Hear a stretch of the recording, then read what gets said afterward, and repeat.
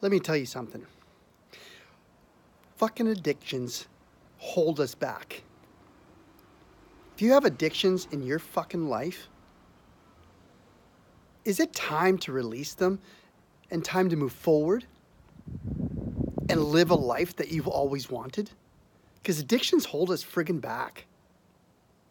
You know, with family, with our jobs, with our businesses, whatever it may be in our lives. It's holding us friggin' back. Well, it was holding me back tremendously. It was like a ball and chain holding me back and never moving forward until I faced my reality and faced my addictions. And once I understood why I had addictions, all created from my past pains, I started to live.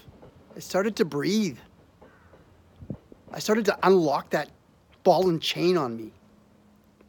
If you want to unlock that chain and that, that release that ball on on your ankle, I have a solution. I have a solution for you that will clear everything up for you. Because I cleared it up. Is it time for you?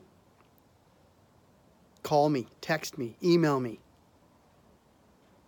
We'll work together on trying to figure it out. Not trying, we will figure it out on a path to unlocking what's inside of you. So live, breathe, and unlock what's inside of you. Have a great day. Bye bye for now.